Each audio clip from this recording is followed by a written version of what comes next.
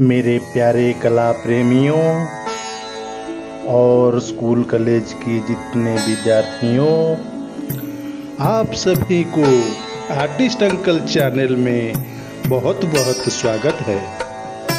और आप लोगों को आर्टिस्ट अंकल की तरफ़ से नमस्ते, सलाम और सत श्री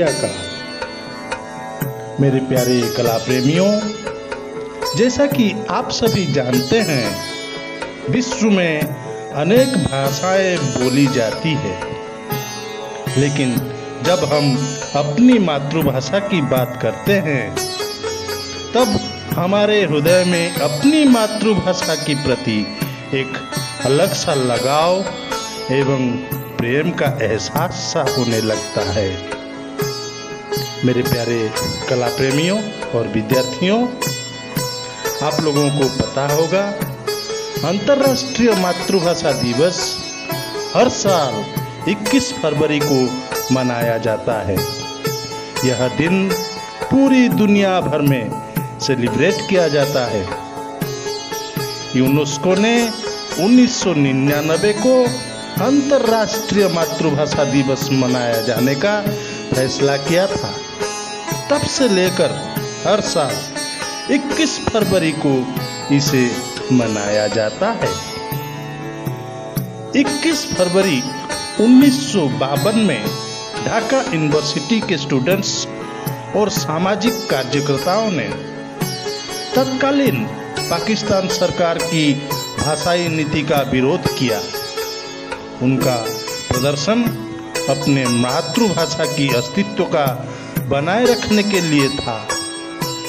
प्रदर्शनकारियों की मांग बांग्ला भाषा को आधिकारिक दर्जा देने थी।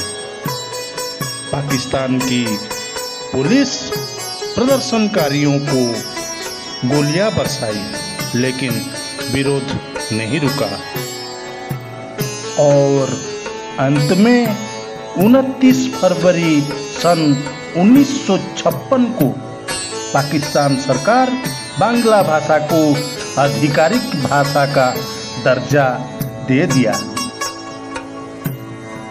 भाषाई आंदोलन में शहीद हुए 16 युवाओं को श्रद्धांजलि देने के लिए यूनेस्को ने 1999 को जनरल कॉन्फ्रेंस से अंतर्राष्ट्रीय मातृभाषा दिवस मनाने का फैसला किया और 21 फरवरी को अंतर्राष्ट्रीय मातृभाषा दिवस मनाया जाने लगा।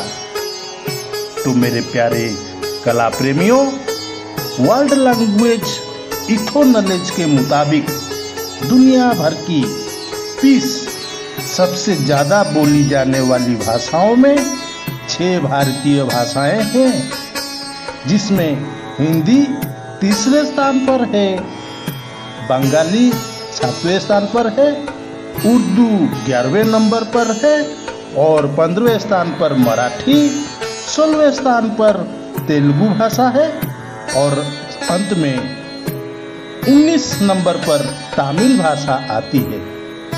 मेरे प्यारे कला प्रेमियों और विद्यार्थियों इंटरनेशनल मदर लैंग्वेज डे के दिन यूनेस्को और यूएन एजेंसियों द्वारा दुनिया भर में भाषा और कल्चर से जुड़े अलग अलग तरह के कार्यक्रम आयोजित किए जाते हैं।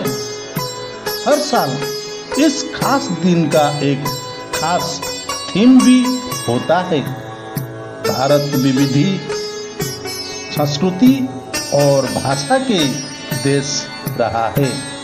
साल 1961 की गणना के अनुसार भारत में सोलह भाषाएँ बोला जाता है। लेकिन हिंदी भाषा हमारे पहचान है। हम देश के किसी भी कोने में चल जाए, वहाँ हमारे राष्ट्रभाषा हिंदी चलता है। तो मेरे प्यारे कला प्रेमियों भारत के पूर्व राष्ट्रपति डॉक्टर अब्दुल कलाम साहब ने अपने अनुभव के आधार पर कहा था, मैं अच्छा वैज्ञानिक इसलिए बना क्योंकि मैंने गणित और विज्ञान की शिक्षा अपनी मातृभाषा में प्राप्त की थी। अब्दुल कलाम साहब जी का कहने का मतलब सिर्फ़ यह है कि व्यक्ति अगर अपनी शिक्षा अपनी मातृभाषा में प्राप्त करता है तो उसके लिए उससे समझना, सीखना आसान हो जाता है।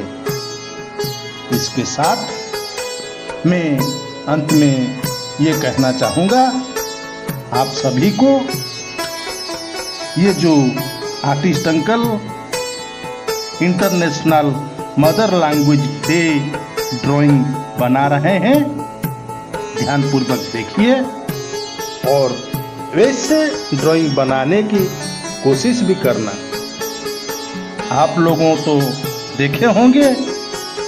तरह तरह की कलाकार अपना कलाकारी बर्तन को लेकर दिखा रहे हैं, जो कि, जो कंसेप्ट है, उसी कंसेप्ट के अनुसार नहीं होता है। यहाँ रंग बेरंग दे देने से कुछ सीखने को नहीं मिलता है। जो थीम होता है, उसी थीम को लेकर अगर आप कोई ड्राइंग बनाएँगे तो कोई अच्छा से सीख पाएगा। तो मेरे प्यारे कला प्रेमियों, मेरे विद्यार्थियों, आप सभी को अंतर्राष्ट्रीय मातृभाषा दिवस की बहुत बहुत शुभकामनाएँ शुभकामनाएँ और शुभकामनाएँ। जो लोग आर्टिस्ट अंकल चैनल में नए आए हैं, प्लीज़ प्लीज़ सब्सक्राइब कर देना, लाइक करना और कमेंट करने का कभी भूलना मत। तो आज उतनी ही। धन्यवाद।